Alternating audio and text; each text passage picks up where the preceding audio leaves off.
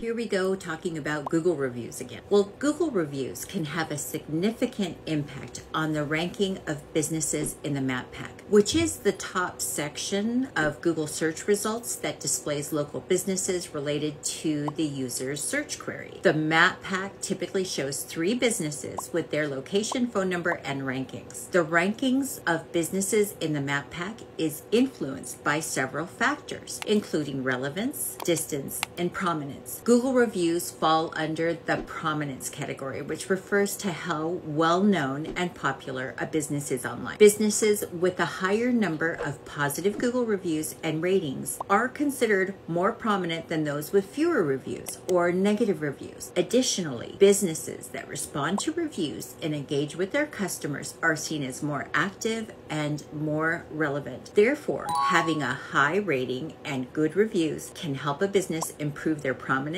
and increase their chances of appearing in the map pack. This in turn can lead to more visibility, more website traffic, and ultimately more customers for your business.